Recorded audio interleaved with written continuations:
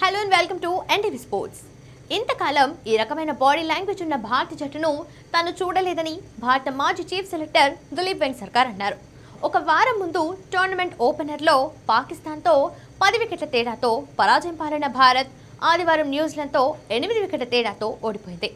దాంతో జట్టు రంగు పులుముకుంది. మరియు ఆటగాళ్ళు మందకొడిగా కనిపించారు. ఇది బయోబబుల్ ఫెటిగా లేదా మరేదైనా నాకు తెలీదు.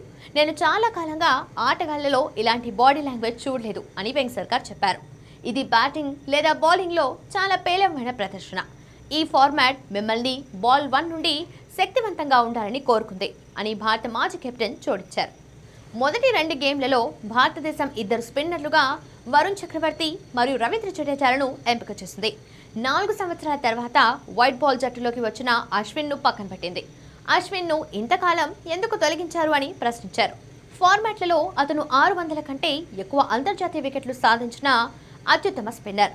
అతను మీ సీనియర్ మోస్ట్ స్పిన్నర్ మరియు మీరు అతన్ని ఎంపిక చేయలేరు. నేను అర్థం చేసుకోవటంలో విఫలమయ్యాను. అతను ఇంగ్లాండ్ టెస్ట్ సిరీస్లో కూడా ఒక్క ఆట కూడా ఆడలేదు.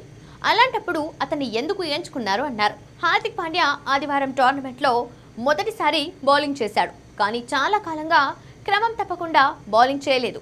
మరియు స్పెషలిస్ట్ బ్యాటర్గా ఎక్కువ మందిని ఎంపిక చేస్తున్నారు. మీరు ఆల్రౌండర్గా ఉంటే నేను చెప్పగలను.